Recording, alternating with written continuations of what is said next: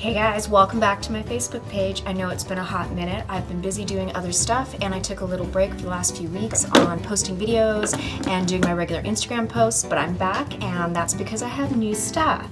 So um, thanks again for joining me. If you haven't yet, like and subscribe to this page and my Instagram and my YouTube channel. Um, you can find me there doing videos on photo sessions. I have new dates for July 27th, 28th, Seattle, Las Vegas 16th and 17th as well as I have other dates and times around that. It's based on the packages. So if you're interested, you can click the button below to find out more information on the sessions. And on top of that, let's see, what else do I have coming up? Um, Dirty Glamour issue five, five. I am doing a new issue, I'm working on that, and I'm always looking for new models um, people with interesting stories. If you want to learn more about that, go to my website, youreajewel.com under mag, and it gives you more information.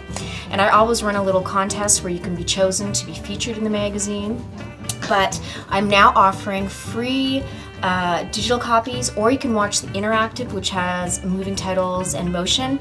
Um, and if you decided you want something to hold, you can buy a print version now at a reduced price of $7. And with that comes a digital version, so you win all around. So lots of fun glamour stuff happening.